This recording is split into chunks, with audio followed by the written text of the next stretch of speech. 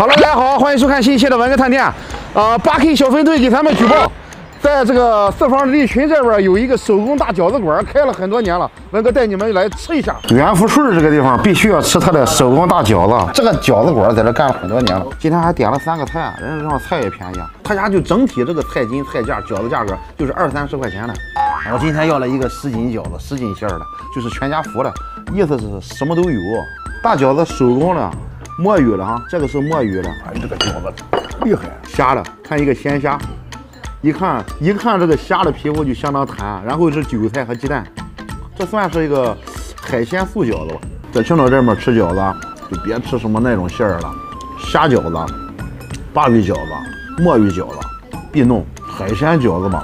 就是体现了一个西安，人这个店里吧卖了接近十几年、二十年那个饺子馆啊，在这个调馅方面嘛，有了自己的一套了。人家这个皮儿也是自己擀的，所有的饺子都是两个大姐给捏起来了，亲手捏起来了。而且它这个饺子皮儿吧，它跟别的地方饺子皮儿不一样。我说实话，我有好多年没吃这种饺子皮了。咱们现在在家包饺子吧，都是买的现成的饺子皮儿，或者自己和面的那种饺子皮儿吧，都是特别硬。不知道是几号面啊？我不大懂那种面，它它怎么下它都不破。但他家这个饺子皮吧，不是那种硬的，反正它它这种特别软，人家也不破。我估计这个面是人家自己调的。那很很多年以前，家里人还和面自己擀皮儿的时候吧，好像见到过这种皮儿。现在这种市场卖那个饺子皮儿都特别硬，给他个饺子可以打个分儿哈。青岛好吃的饺子馆有的是，我说实话，但是他这个饺子吧。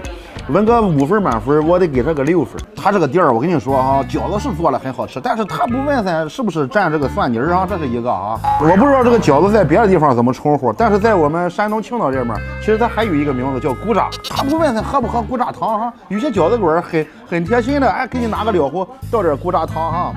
我觉得他这个手工面皮骨渣汤，我估计更好喝。那你上饺子馆喝骨渣汤，这就是内行了，是不是？前两天咱在那个什么椒点了个这个这个鱼一百多块钱哈，我对这个鱼挺好吃的这个酸汤酸汤鱼，我看他这上卖三十几块钱，三十几块钱一个酸菜鱼，价格实惠，性价比极强。这可能是在青岛地区最便宜的酸酸汤鱼了吧？不是酸菜鱼啊，酸汤鱼。他家这个酸汤鱼是他家特有的一个，跟那天吃那个还不太一样。里面什么菜花木耳，然后就是鱼片，然后就是黄豆露酱把它调起来了。它这个味道在这儿了，很好，这是很很下饭的菜。黄豆露酱做这个东西无敌。来他这个店吃饭的没有小年轻，都是老邻居。第一次跟他们家里人接触，就是在这个元福顺他这个饺子馆。他是一句请我吃的这个，我就是坐了现在这个位置。不过他装修了，里面很大。我刚才进去转了转，里面不少卡座，还有包间。这叫证婚人，就是这个意思。这是见证我们。咦，当时还没结婚。伟大的爱情的地方。那二姨当时也没也意思，长辈不拿个红包，我还在这寻思这个事儿。现在换你拿红包，你说个啥？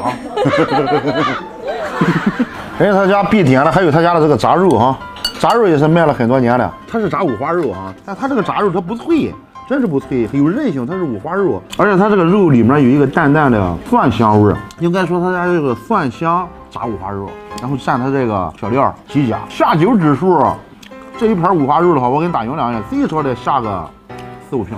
听说他家这个人这个老板吧，以前是青岛的一个知名大店那个行政总厨，水平很高，而且很多在他家吃饭吃菜的能吃住了啊，而价格也不贵，价格不贵就比性价比。哎，同样的价格，你比你比吃吃的怎么样？是不是？我们就是三个人啊，我们吃东西，所以说我用手抓我无所谓了。你们你们不嫌乎吧？大肠炒猪肝，这个菜是人家的店里也是必弄的，小伙伴给咱推荐的。猪肝是主料，猪肝比较多，猪肝非常嫩。猪肝切的必须要薄，你要切的厚的话吧，你怎么炒你也炒不了，炒不了特别嫩、特别那种，是不是？然后这个大肠，大肠尽量切丝儿，里面配的是不是葱啊？